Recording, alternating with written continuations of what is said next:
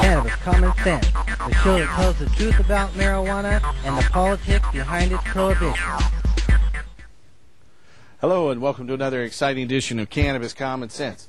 Our show is a production of our nonprofit organization, the Hemp and Cannabis Foundation, or THCF, and its affiliated political committee, CRRH, or the Campaign for the Restoration and Regulation of Hemp. We have uh, a great show for you tonight. We have uh, an outstanding band here this evening. Uh, we'll be introducing in just a few moments. Uh, Don Dupay and I, and a guest uh, from Americans for Safe Act, Access, a political group out there who ha- we have a guest, Jim Gregg. we have a film clip from Spokane. We'll be showing you in just a few minutes here, and some a lot of news tonight. So stay tuned, and we'll be back in just a second. But uh, as always, we'll start with our infamous Dancing Cannabis Leaves.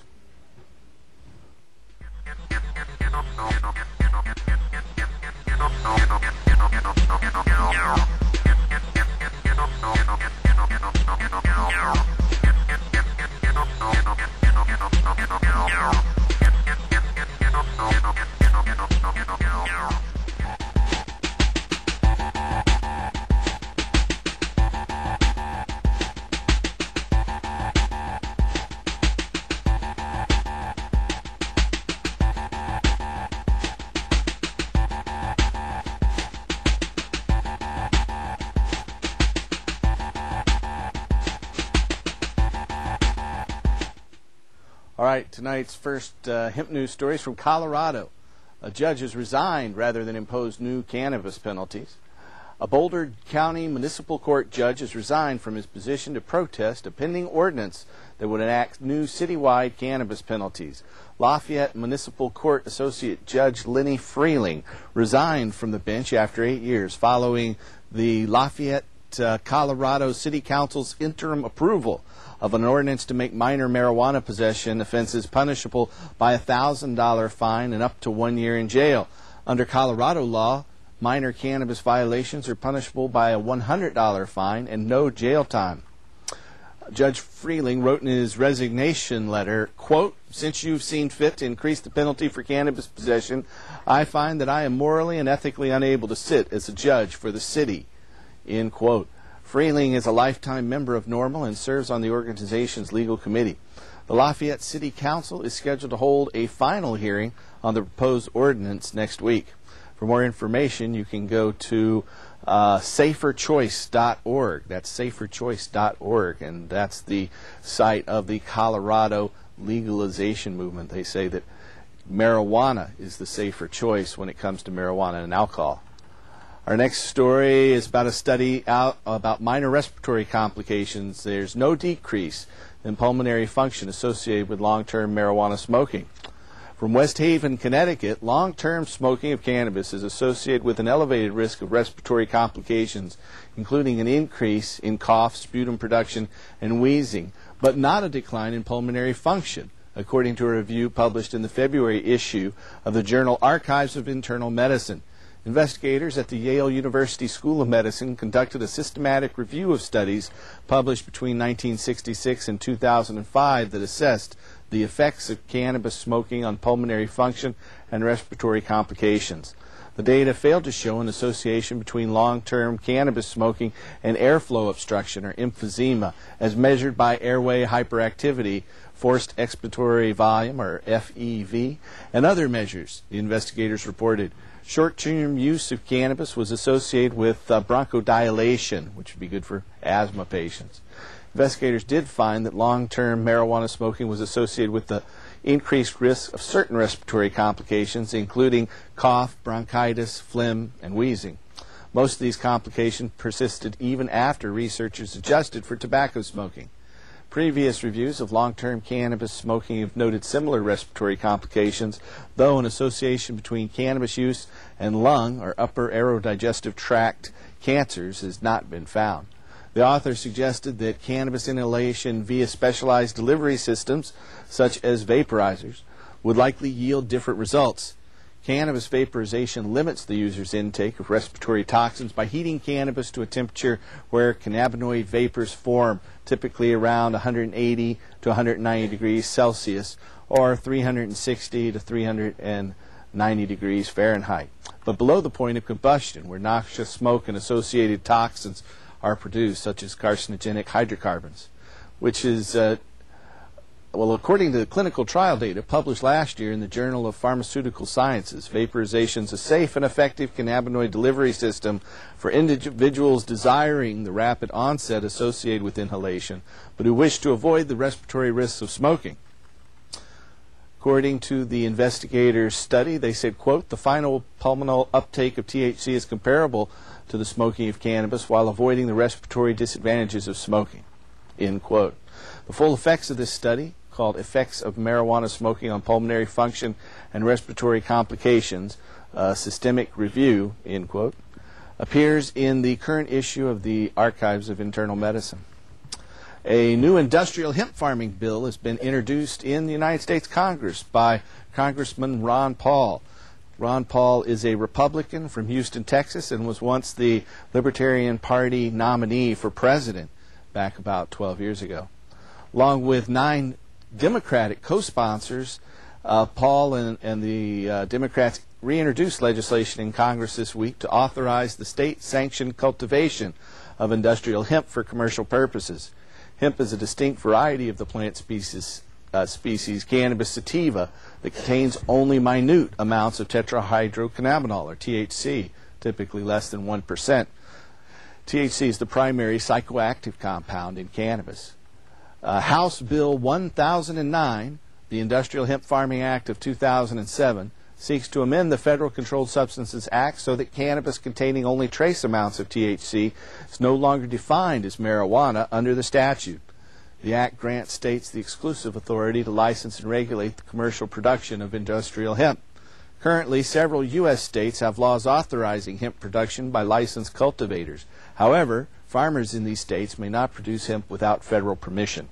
According to a 2005 Congressional Research Service report, the CRS said, quote, the DEA has been unwilling to grant licenses for growing small plots of hemp for research purposes, even when such research is authorized by state law, uh, because the agency believes that doing so would send the wrong message to the American public concerning the government's position on drugs, end quote. Passage of House Resolution 1009 would remove this federal barrier and defer exclusive regulatory authority over hemp production to state statutes. Currently, North Dakota has passed statutes allowing industrial hemp farming, and the DEA hasn't issued licenses to the farmers who are seeking those. Uh, Congressman Ron Paul said, quote, it's indefensible that the United States government prevents American farmers from growing this crop by passing the Industrial Hemp Farming Act the House of Representatives can help American farmers and reduce the trade deficit, all without spending a single taxpayer dollar. End quote. According to the Congressional Research Service, they say, quote, the United States is the only developed nation in which industrial hemp is not an established crop, end quote. Farmers in Canada and the European Union grow hemp commercially for fiber, seed, and oil for use in a variety of industrial and consumer products, including foods. Hemp fiber and hemp-based products may be legally imported into the United States in compliance with several economic treaties, including NAFTA and GATT. For more information on this, go to votehemp.com slash federal.html. That's votehemp.com. Our next story is from San Francisco. Inhaled cannabis significantly reduces HIV-associated neuropathy. Cannabis significantly reduces HIV-associated neuropathic pain compared to placebo and possesses an acceptable margin of safety for use, according to clinical trial data to be published in the journal Neurology. Investigators at the San Francisco General Hospital and the University of California's Pain Clinic Research Center assessed the efficacy of inhaled cannabis on HIV-associated sensory neuropathy in 50 volunteers participating in a five-day double-blind placebo-controlled trial. Researchers uh, reported that smoking low-grade cannabis, about 3.56% THC, three times daily reduced the patient's pain by 34%. Actually, that's the only cannabis they could get from the federal government was that low-grade cannabis. Well, there's more about that in a little bit. Uh, the authors wrote, quote, 13 of 25 randomized uh, patients to cannabis uh, had cannabis cigarettes, 30% reduction in pain from the baseline to the end of treatment versus 6 of the 25 patients receiving placebo cigarettes, the authors noted. A 30% reduction in pain is considered to be a clinically significant amount of pain relief. The investigators added, quote, smoking the first cannabis cigarette reduced chronic pain ratings by a median of 72% versus a reduction of 15% with placebo, our zero THC cigarettes. On day five, just prior to smoking the last cigarette, median pain ratings of current chronic pain intensity were lower in the cannabis group than in the placebo group. End quote. They concluded, quote, smoked cannabis was well tolerated and effectively relieved chronic neuropathic pain from HIV-associated neuropathy in a manner similar to oral drugs used for chronic neuropathic pain. End quote. The lead investigator of the study, Donald Abrams of San Francisco General Hospital, initially sought federal approval to assess the potential medical efficacy of cannabis in HIV patients in 1994, but was repeatedly denied access to the U.S. government's supply of research grade marijuana, that 3.5% stuff there. Today's study is one of the first U.S. led clinical trials evaluating the efficacy of smoked cannabis to take place in the United States in nearly two decades. The University of California Center for Medicinal Cannabis Research sponsored the trial. Previous clinical trials assessing the use of cannabinoids as analgesics have demonstrated that they can significantly reduce the neuropathy associated with multiple sclerosis, diabetes, cancer, and rheumatoid arthritis. Neuropathic pain affects an estimated 1% of the world's population and is typically unresponsive to both opioids and non-steroidal anti-inflammatory drugs such as ibuprofen.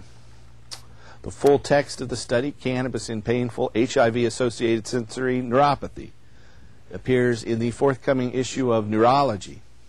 Additional information about the study is available at cmcr.ucsd.edu.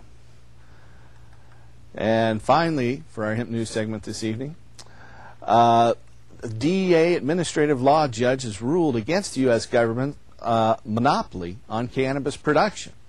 Since they're turning out that 3.5% uh, cannabis for these research uh, studies, now uh, a Massachusetts professor uh, might receive a permit from the DEA, or he's been ordered to by administrative law judge. The Drug Enforcement Administration, or DEA's administrative law judge, Mary Ellen Bittner, ruled Monday that private production of cannabis for research purposes is in the public interest. Her ruling affirms that the DEA in 2004 improperly rejected an application from the University of Massachusetts at Amherst to manufacture cannabis for FDA research. Bittner opined, quote, I conclude that granting respondents' application would not be inconsistent with the Single Convention Treaty, that there would be minimal risk of diversion of marijuana resulting from respondents' registration, that there's currently an inadequate supply of marijuana available for research purposes, that competition in the provision of marijuana for such purposes is inadequate, and that respondent has complied with applicable laws and has never been convicted of any violation of any law pertaining to controlled substances. I therefore find that respondents' registration to cultivate marijuana would be in the public interest. End quote. Currently, all federally approved research on marijuana must utilize cannabis supplied by and grown under contract with the U.S. National Institute on Drug Abuse, or NIDA. The uh, University of Massachusetts at Amherst proposal sought to provide clinical investigators with an alternative, independent source of cannabis for FDA approved trials. Judge Bittner's ruling is an important first step toward breaking the U.S. government's long-standing monopoly regarding the cultivation of research-grade cannabis. Clinical investigators and drug development researchers who no longer wish to conduct trials using NIDA's inferior strains of cannabis may one day have access to other legal alternatives. In recent years, several U.S. researchers have criticized NIDA's unwillingness to provide cannabis for clinical protocols seeking to investigate the drug's medical use. In 2004, the agency's director, Nora Volkow, stated that it is, quote, not NIDA's mission to study the medical uses of marijuana, end quote. This is the first major step to getting us to, to the scientific research that the government's been blocking for the past 30 years. The government uh, says no to this judge's ruling. The hypocrisy of their approach will help fuel efforts for additional state medical marijuana reform. The DEA has 20, judged, 20 days, actually, to challenge Judge Bittner's decision. The decision then goes before DEA Deputy Administrator Michele Leonhart, who can still elect to set aside the ruling.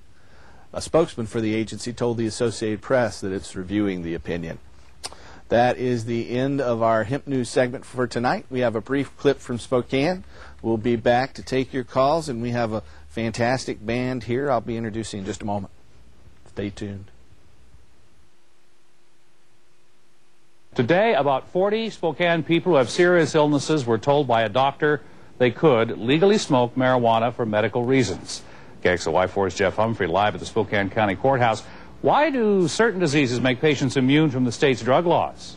Well, Richard, that's because back in 1998, Washington voters gave people who suffer from various cancers and neurological problems the right to possess and use small amounts of marijuana. How even, however, even nine years later, these people are still struggling to see if they do, in fact, get the marijuana treatments they need, they don't wind up being treated, treated as criminals here in court. I have 24-7 chronic pain, you know major in my knees and back. I can't walk. I can't stand. Pam Murch is a former advertising executive stricken with multiple sclerosis and scoliosis. After trying painkillers and muscle relaxers, she found marijuana treats her symptoms the best. It uh, relaxes my spasms. I have a lot of like Charlie horses, major, that come in my legs on a daily basis, and that helps relax that a lot. Today, Murch was one of about 40 people who visited this traveling clinic that set up shop at a Spokane hotel. These patients must have their medical records and conditions reviewed by a doctor if they want to qualify for their permit. But many family physicians are still reluctant to sign off on the cannabis treatments. Probably three quarters of the doctors don't know that it's uh, been legalized in Washington state for medical purposes in 1998. However, Dr. Thomas Orvald is willing to meet with prospective medical marijuana patients. The heart surgeon says after 40 years in the business, he thinks pot's natural properties outperform man-made pills. By uh, helping them uh, achieve some relief from pain by using a non-toxic medication, I think it's appropriate. However, Dr. Orvald will not tell his patients where to get marijuana. Most try to grow it themselves, and if they're caught with more than a two-month supply, their permit won't protect them from prosecution.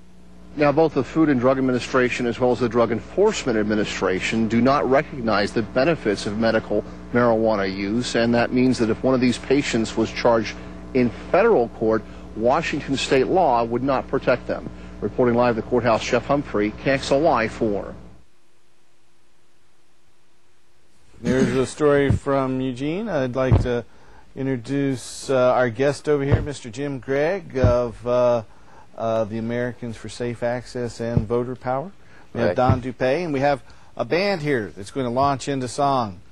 Uh, Frank Dar- Dardino. Dardino. Dardano. Frank Dar- Dardano. and Tim Pate and Don McFadden are going to provide some uh, musical accompaniment. Thank you, gentlemen. You're welcome. Shall we go? All right. All right. Hit it, bro.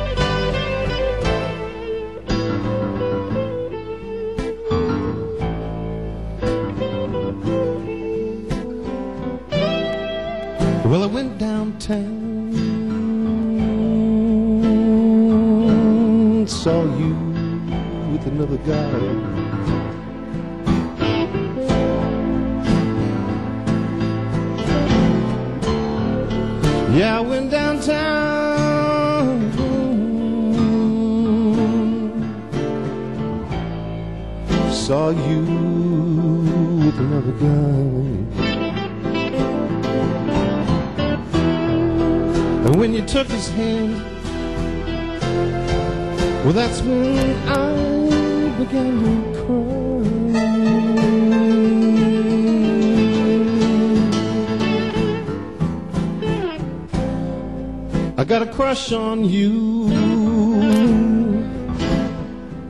There's no denying it.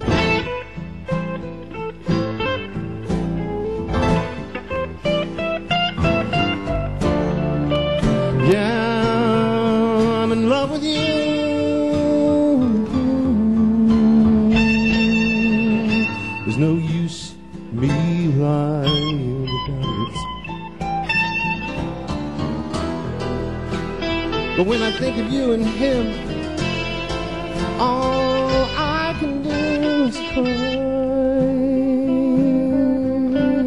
about it.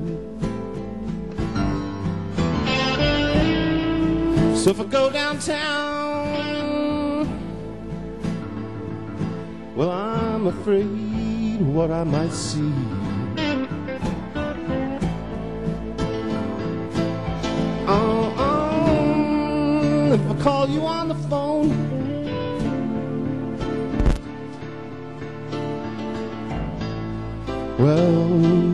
Just hang up on me.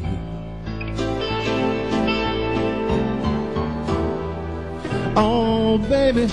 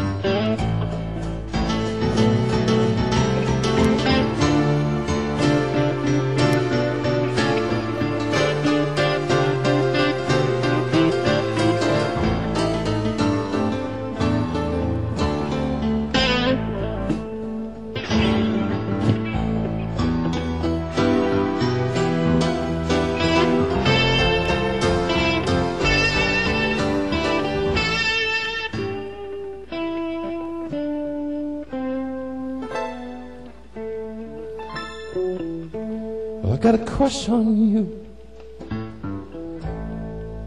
There's no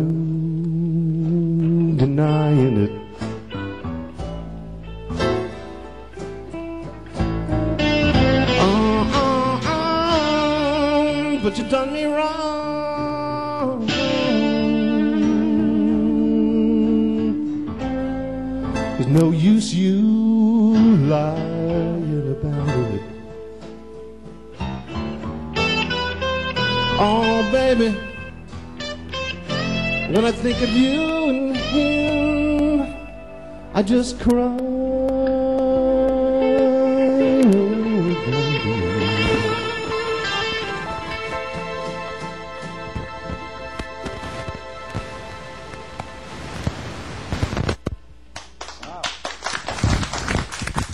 You guys are fantastic.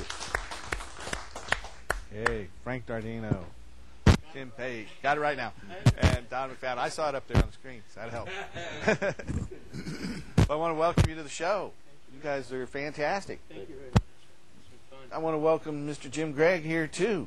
Thank you. Yeah, thanks for coming in tonight, Jim. You had a great article in today's Register Guard. Yeah, well, they gave me a little rather lengthy op-ed. Yeah, uh, it's online, it's uh, registerguard.com. Yeah. It's at cannabisnews.com too, right at the top of the page. It's in many, many different sites out there on the internet. Yeah. It's disseminated quickly. Marijuana more than medicinal is the title, so easy to spot in today's Yeah. paper. It's kind of a switch. I'm uh, here actually to talk mostly about Americans for Safe Access, so Uh huh. um, it definitely crosses the gray line. And, Um, and you're the Oregon State spokesperson for ASA, or correct, Americans yeah. for Safe Supposedly Access. an organizer, as if there were masses behind me, but or, Uh huh. spokesperson works for me. I know you're on pretty frequently with our sister show down there in Eugene, Cannabis TV. With Yeah, when and there's the news, it's only half the the airtime though that you get. You got a tremendous studio and and Uh-huh. show. It looks. Hey, like. we might even expand our airtime. We're, we're thinking about it. But anyway, Ah, good. how are you doing this week, Don? I'm good, Paul. Is that a great band there? It's a great band. A great band. I'm You- happy to sit here and listen. Yeah, yeah, me Got a too. lot of uh, scream and sustain out of the. Uh, what is it? Little Fender, isn't it? Uh, a couple of them, yeah. Oh, I, I thought it was a twin, but I heard that much sustain. I went, nah, it's got, yeah. it's- Yeah, that's why I bought it. All right. Two, two, two little tiny ones or Yeah. so, a big refrigerator. Uh-huh. I used to live with George Blake. He's a little pig nose and just crank it and 25 watts. Well, I know we've got that uh, Oregon House Bill 4565, which would let companies fire medical marijuana patients with no cause, basically. So Yeah, we've got to urge our Oregon viewers to call our state legislators and oppose 4565. There's no doubt about that. And I know you've got some other bills to talk about, too. Yeah, there's a lot of state bills. I guess we want to start there. Um, of course, the uh, bad bills got listed first. There's the uh, drug. in fact, they're they're pretty much going crazy on the drug testing. Uh, Yeah. The first one, uh, numerically, they're uh, 2306 drug testing for elected officials. Wow. On the face of it, sounds great, but I there's don't so think many that's tied in anywhere. together that we're pretty much going no on all of them. That's not gonna go know, anywhere. it's- it's That- that one's not gonna go as far as anywhere. Cannabis goes, everybody knows that, except Uh-huh. the elected officials. That was an upset uh, Um, Republican there. Well, that uh, with that. 2429 have uh, employers uh, pay for drug testings themselves. Uh, another one, uh, I think 2441, drug testing for uh, union in pla- uh, placement. Uh, yeah. Um, there's a good one. Uh, let's see, what's that? Oh, we. Boom, boom. All right, let's uh, a couple more. Senate Bill 171 limit uh, the caregivers to four. Actually, put it into law. On the Senate side, the employ- employment discrimination against payment patients. 327 is a good one. Um, this one gives the judge the option uh, on minor cultivation offenses to make it a misdemeanor. That is good. Yeah. Yeah. There are a few good ones out there. There's Yeah, a there's more couple coming. of different uh, proposals for dispensaries. I know, though we have a caller. Let's go ahead and let a caller get through and see what's going on. Hello, caller. You're on the show. Hi, guys. Hello. Hi. Um, coincidentally, uh, I had a little information I wanted to pass on about uh, a drug test product um, that I found actually worked uh, Uh-huh. quite well. And uh, the URL is pretty simple: passyourdrugtest.com. Mm-hmm. They have a number of different levels, but uh, they have kits that um, it, uh, in 45 minutes, if you're faced with a drug test, you can chew your little herbal tablets, and uh, they have a 99% passing rate. But they also have a product that takes about an hour and a half. You drink it into the herbal ta- uh, tablets, and they actually guarantee results on that. So, have you tried those out and had? Uh, oh yeah, I tested for major corporation. Uh huh. Uh-huh. Well, good. That's good to know.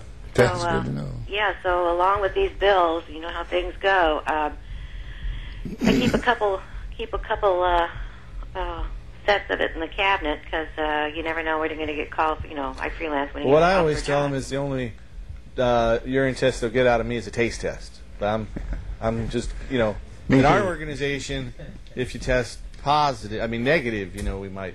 Well, no, we wouldn't. your- do that. yeah. We don't discriminate against non-smokers or users here. Might but say. it uh, it it it is. A, I think it's a pretty good product. I, the testimonials, the way they're written online, I have reason to believe that they're pretty valid. They're coming from the folks that say they are. Uh-huh.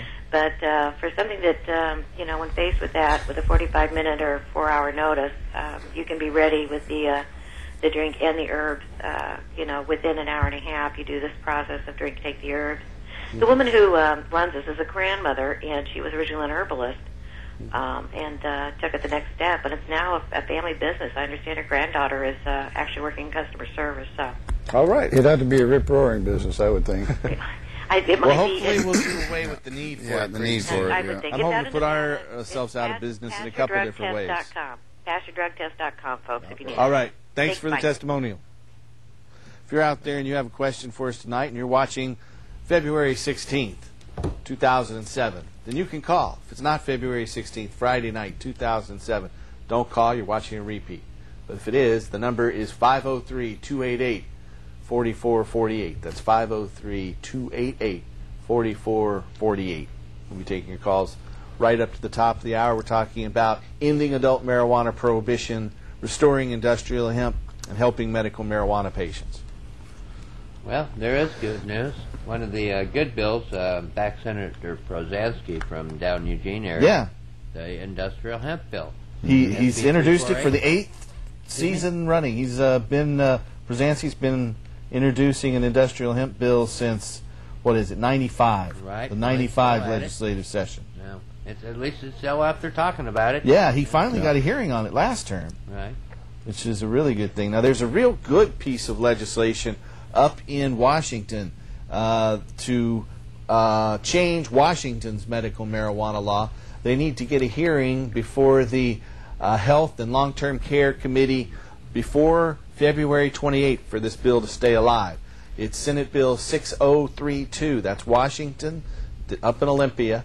The uh, Senate Bill 6032. Right now, Washington State has really the weakest marijuana law in medical marijuana law in the country, uh, and patients are subjected to brutal arrest and uh, arbitrary prosecution. And this bill would change that.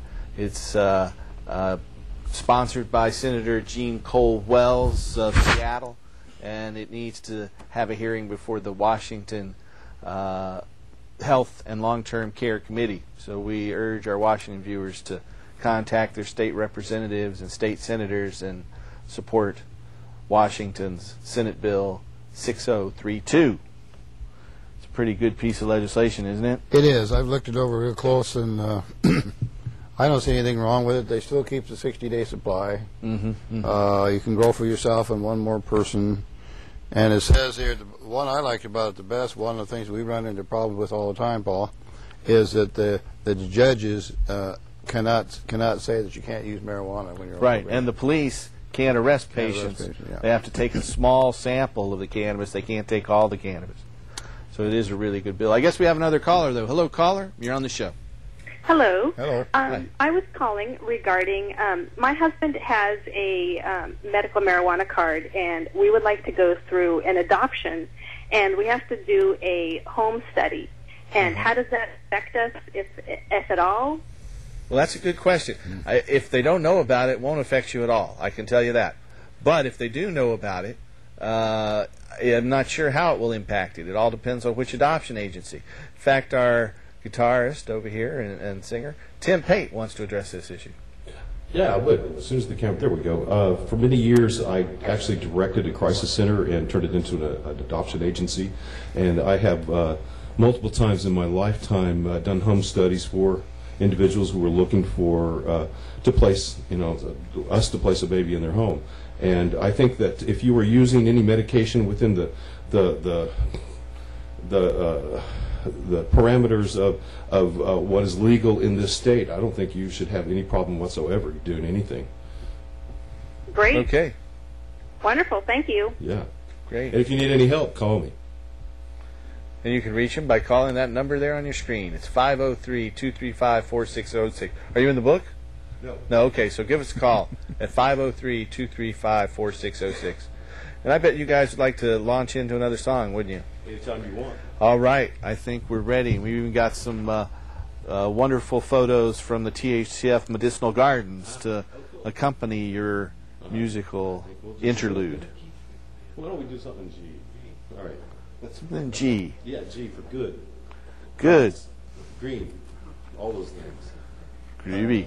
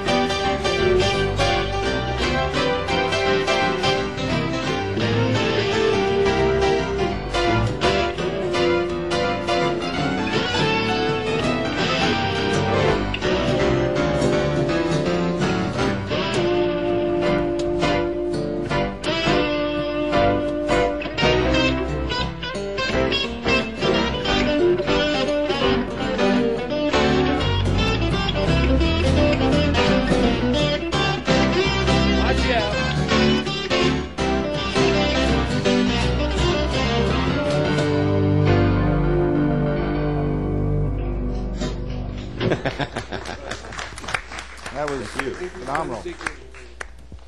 All right, uh, we do have a caller who's been standing by. Hello, caller. You're on the show. Hello. Hello. Yeah, my name's Tom, and I've been looking at uh, watching the show on people that are concerned about drug tests and stuff.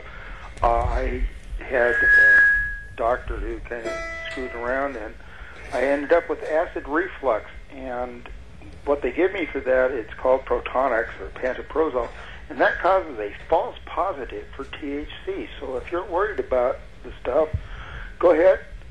Who's going to argue with you? You got acid reflux. You can't stop taking the pills every day, Hey. or your stomach will eat itself. There's a good point. Yeah. So it gives a false positive. Must be some analog Yeah. cannabinoid. Yep. So All right. Well, Uh, thanks for that information. I didn't know that. I have heard that uh, uh, ibuprofen at sometimes will give a false positive for Well, cannabinoids as all well. ibuprofen did was eat my stomach out. Yeah. Mhm. Well, it, it does a lot of dirty things, doesn't it? Hey, they can't tell me not to eat, but I have to, prescription-wise, to keep my stomach alive. That's true. True. That's true. Hey, Well, medical keep marijuana those- helps Oh, those yeah. gastrointestinal ailments as well, as you probably know. Well, that's You're a frequent watcher of the show. yeah, and actually, I have a medical marijuana card because my stomach got eaten up. Among other Yeah. things. Good for Okay. you. Appreciate talking to you. All right. Thanks for calling. Thanks You for that information, too. I You had bet. no idea. Always something new. So, Jim, you were uh, active with ASA. You want to tell our viewers about ASA? Uh, yeah, it's um, it's actually uh, the own largest grassroots medical marijuana group in the country. Yeah, they've gone from nowhere like five years ago to now having 30,000 members. That's just phenomenal. Well, Steph has been uh, Steph was Sherer, active. the founder. Right, Steph, the founder, was not involved. in- You know, not a consumer, not medical. Uh-huh. Was at a rally. I think it was the World Bank. There was a police attacked the crowd. She was beat. Now she has an, an uh, injured back, uh, neck injury actually. I see. Um, and she's found that medical marijuana helped. And she was fresh out of college, full of enthusiasm, Mhm. and uh, into the movement uh, as far as monetary affairs. Immediately switched and got a lot of uh, other uh, Students for Sensible Drug Policy involved. Yeah. Caren Woodson's involved. She's been instrumental there. And then most recently, they had a former member of the National Drug Control Policy who had retired. The Office of National Drug Control sides. Policy, the White House's Right. propaganda arm. Right, and and she's you know as part of one of the propaganda, you know, um, dispensers So there. She she's has left the the dark side, and she's exactly. come to the. So she's back to fight for good the good All side right. now. So She's using and the then uh, most recently, three of the major uh, AIDS organizations have all included uh, medicinal use of medical marijuana in their national policy statements, Mhm. and that was just um, before that study in San Francisco, the double-blind placebo test, where it showed with uh, even the you know Yeah, the low one we talked percentage about in the news. marijuana, Mhm. right? So all of that ties together, and I really think to get legalization in the direction they're going is to tie more medical groups together because Mhm. ACE is not just patients. Um, in fact, in June we went back. I was one of two patients. They had two scientists, Mhm. two medical doctors, and then two of the lo- uh, staff members there from uh, ASA, Caren Woodson and Steph. And uh, during those two days, um, we met with 33 different congressmen and senators. And between the four of us, we could pretty much answer anything medical. Mhm. Mhm. So it was a lot of, and, and that's the important thing is to reach um, to the medical community, to everybody, to get to legislators. So more medical community back backing we can get, the more logical it sounds to Yeah, them. that's true. That's true. We have another uh, phone call. Hello, caller. You're on the show. Hi, Paul. How you doing? Oh, well, how are you? I'm good, thanks. I'm glad you've got a gentleman on the air tonight that uh, is dealing with uh, Americans for Safe Access. I get emails from them on a weekly basis, and I think they're a tremendous organization. Yeah. I was in, did an interview in Denver, Colorado with Steph Sherer, the founder of Americans for Safe Access, and uh, they are doing some great work. We're trying to tie in with them. We've had literature for them in our offices as well. I got a quick question as as far as uh, organizations joining together. For example, NORML's been out there for over 30 years, uh, as well as uh, Oregon NORML. Uh, now we have American for Safe Access, THCF, CRRF, et cetera, et cetera. Yeah. Why can't we put everybody together? Man, I'm hearing a lot of feedback. I hope you're not hearing that. I'm hearing a little bit of it, but go ahead. I Uh, agree. my question is, why can't all of these groups get together and pool their financial resources uh, for the purpose of uh, political activism and uh, defense funds for people who are being uh, uh, arrested wrongly for trying to medicate themselves for something that the law has said they can medicate themselves for? I think the federal government obviously has uh, it's long overdue, as you said earlier tonight, Paul. Over 30 years now, they've been uh, blocking uh, even research into Yeah. the use of medical marijuana. So I'm, uh, And they still do. Is, They why haven't can't all really allowed much organizations get uh, get together? What do we need to do it, to to make that happen? Is my question. You know, there's real hopeful signs at the federal level that in the next two to three years we could see a real breakthrough. Uh, we've got Nancy Pelosi, who's been a backer of medical marijuana. Last year, they got 174 votes on the state's rights to medical marijuana law that was uh, introduced by Barney Frank and co-sponsored by Portland's own Earl Blumenauer and Dennis Kucinich and many others. But uh, we need to contact our federal representatives and urge them to pass that state's rights to medical marijuana law and uh, to support this hemp bill that Representative Ron Paul of Texas introduced. And once we get uh, our federal representatives to do that, we need to get our state representatives to oppose bills like this House Bill 465. You know, it takes a lot of political activity. We've got to get on the phones, we've got to write letters. And when more, as more and more of us do that, we'll have more and more of an impact on the political process. Well, one thing I noticed here with uh, Americans for Safe Access, I got a I got a uh, email on uh, Sunday regarding this this week, this past week being medical marijuana, Marijuana week, and they were right. advocating having an activity every day uh, to uh, help open people's minds to this issue. Yeah, Uh, so that. anything that you can do with uh, ASA in the program, I, I strongly support it. While I, I enjoy Tim Pate's music, I'd like to see more discussion and less music on the program. Just Yeah, my point of view. I Not, understand. not I putting him down or anything. I understand. Well, Did I? yeah, Jim, launch right in here. Let's Okay. talk about Yeah, medical you. marijuana Um, week for Americans for Right. Safe Um, Access. by the way, I don't know if they. Uh, yeah, they do. Americans for Safe Access. I was wondering if they had streamers. Their website is safeaccessnow.org. Yeah. And um, they'll have the uh, all the information in California. Every week, every year, they have uh, week-long information uh, dissemination. Uh, of course, their original act was the Compassionate Use Act, Proposition 215, so they tied into that. But also, there on long term, there's petitions online. We'd like everyone across the country to uh, get people to sign, and that's the call for congressional hearings on medical marijuana. We're going to just jump right ahead of the DEA. Americans for Safe Access filed a um, uh, a lawsuit based on, based on a Data Quality Act. Mhm. We're challenging the information they're disseminating to the public. We're saying it's bullshit. You're disseminating the wrong information. If we can prove it in federal court, they'll need to correct it. So we're coming at the federal level a lot of different ways. And when you talk about groups organizing, um, whether it be you know uh, MPP, DPA, um, in fact, there's two or three chapters of NORML here in not only the uh, Oregon NORML. There's one in Far East uh, Oregon, Far East NORML.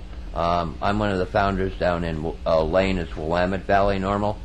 But um, one thing that all of the groups seem to, to recognize is the next step is it needs to be disque- rescheduled.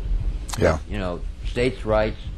Um, it's it's has obvious medical value, so the class one is a ridiculous place to put it. Class three or lower is where it bela- belongs, if not there with coffee and tea. But you know, at least at class three, we get the feds off our back, and you know we can be treated. You know, as when I quit coffee or tea, I get a headache. And when I quit I'm saying at marijuana, I don't get you a headache.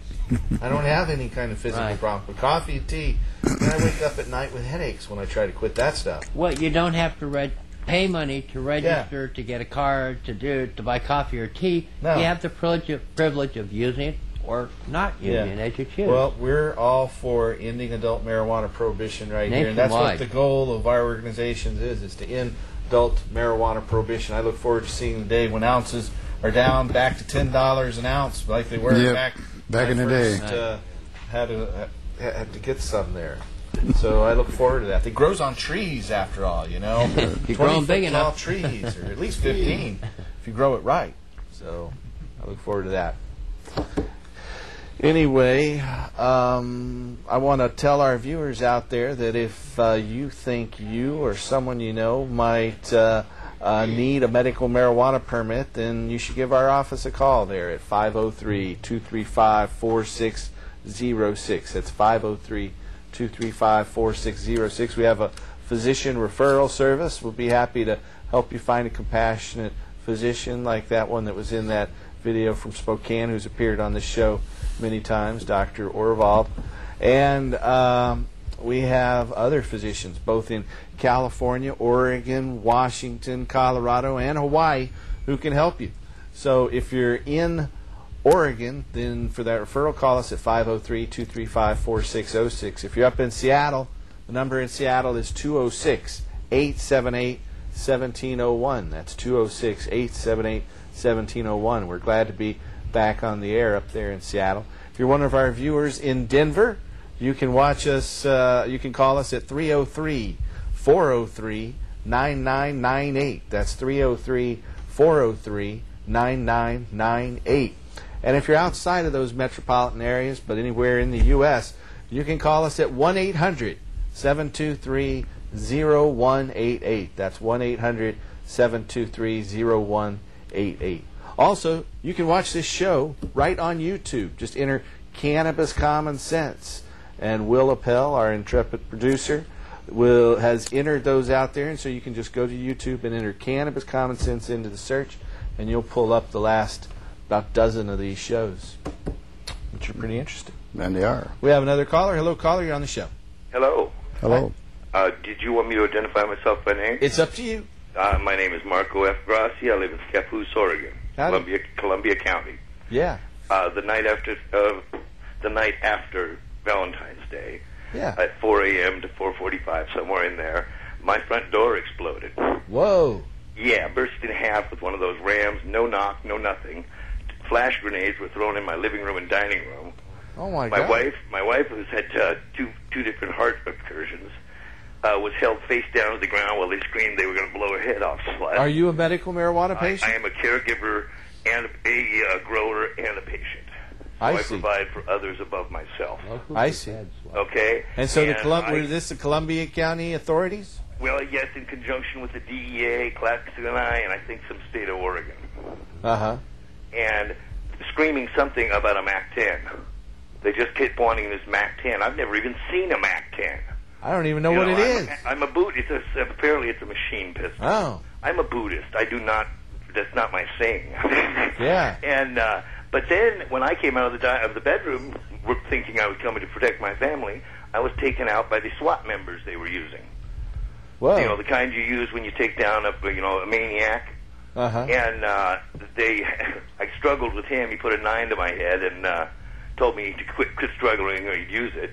Then every Oh, time I attempted to assert my rights or ask uh, to see the warrant, anything like that, I was threatened with a, th- a taser. The same thing was done to my back. My uh, college student, I allowed to, to you know, rent a little uh, uh, mobile home in my backyard Really? they did that flash God. grenades again. It's a took him to miracle you didn't have a heart attack. That I'm sounds like uh, telling it, sir. You, sh- you I- I need to get uh, some some legal representation and sue the pants off these folks. marijuana. They took my safe into the driveway and bashed it up with a sledgehammer when I refused to open it. How many people came in there? 17th century Italian art that my family had had since you know the dawn of civilization. Uh huh. It's not even on the impound list. They took five, six thousand dollars in cash from a tra- ta- from a uh, a tax uh, not what am I saying a uh, stock transaction. You need to get a lawyer. Work around now. I have a lawyer. Good. I merely am calling to warn others that we live in a A police state. we live in a dictatorship. I call it a Judeo-Christian Yeah. dictatorship. But next time, maybe we could try democracy. Anybody really who's had their door kicked in like that by those battering rams is Well, the battering, I, I the was- battering one wasn't as bad as the concussion grenades. They got 'em Yeah, in no, they didn't even do that. They didn't do that to me. I mean, when they bashed my doors in. Oh, they've done it to me three or Boy, four can- times before, but they've never They didn't acted have like those. this. Somebody has, I guess, somebody that because you can't, you know, It a military around. operation. Yeah. Somebody apparently doesn't like me because Mac 10 my ass. Yeah, well, they, my, they my want to steal your 18-year-old boy owns a shotgun. That's about it. You know.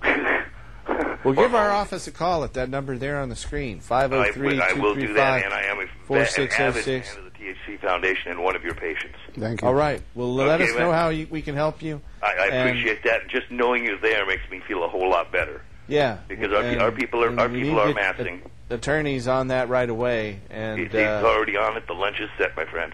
all right. The only question is what's going to, you know, will the feds try it? Because the feds took all the uh, the the greenery and the old sticks and crap that I had in boxes, Right. and we'll have to see what they want to do now. But Right. thank you for letting me air myself. Sure. Well, thanks for calling and letting No, us and- know what kind of power- power tactics to you- they're power to your using out there. Thanks, man. Thank you. Bye-bye. Hang in there. Let us know how we can help. We do live in a Well, that's why we're here, is to stop those kind of assaults on our, our rights to to use medicine as state law now allows us to do. And uh, the feds don't like it. They usually go in when they think they can steal a few items. They want to steal the medicine, they want to steal the property, they want to seize the house. They, they've got money there. They really, Yeah. if you have assets, they might go after you. That's the scary thing. However, here in Multnomah County, where I haven't actually seen anything like that happen recently. It's happened more in Lane County, though, hasn't it, Jim? Well, they um, don't have mili- militarized police down there. There isn't a, a SWAT Uh-huh. team down there, but yeah, the the, uh, the uh, feds have been down there. DEA. Yeah. Um, Douglas, it's been kind of amazing. I hear, uh, you know, last winter or fall harvest season, uh, they weren't really going after too many small patches. You know, if you pretty much lined up with count, you were good. So it is, even though, like for instance, California, the the card system, everything's county by county. The discrimination of the state law is here, as as is in Washington. I think you've experienced that yourself, haven't you, Mhm. Paul? Yeah, You know, where they, yeah. they interpret the uh, 60-day supply quite Differently. differently. County by county, yeah. One jurisdiction to another. That's why Washington needs to pass this Senate Bill 6032. Although it doesn't take your, away your affirmative defense with the 68 supply, it does leave it somewhat ambiguous. It is. It is. It It's is. Washington law. You know, we're wrapping up, Jim. Is there anything you'd like to say in the last no, minute but you know so? what? Um, as we were going over the state bills, um, OregonNORML.org has a, a pretty extensive listing, um, at least the original bills. Yeah, There's of so all the many. bills. I don't know if they can keep them up to date. Uh huh. But, I know um, Russ Belville's doing uh, an outstanding job there at OregonNORML.org. No, all the keep normal that out. O R N O R M L. Mhm. Right. He he says uh, he as soon as he hears about one, he puts it up there, and so Good. that's the place to All look right. for Oregon bills for certain. You were right, though. You know, to get anything done, you have to contact your elected officials. Yeah, a We're starting letter with our often city better. and uh, county officials. It turns out one of our county board of commissioners was a caregiver for his father, who got kicked out of a nursing home for medicating, and he had no access to medicine. You know, he's an accountant-looking kind And of the guy. new so. medical marijuana law as amended by the legislature last time says they can't do that, but it's Yeah, another issue. a- again, there'll be test cases. Well, I want to so. thank you for coming on, Jim. All right. Don, we didn't get your editorial, That's and you got one for next week. I got one for next week. Got one I'd for next week. It some looks like a good anyway. one. I want to thank our viewers out there for watching. We're going to go out with just a little bit more music here and some more scenes from the medicinal gardens. But uh, Remember to vote, contact the state legislators right now because now is the time. Look at that site, Oregon NORML. That's O R N O R M L dot O R G for the list of Oregon laws. And our Washington viewers, make certain you uh, call your state legislators to, to support Senate Bill 6032. So thanks for watching tonight. Remember to help us restore hemp. And here are Don McFadden, Tim Pate, and Frank Dardano.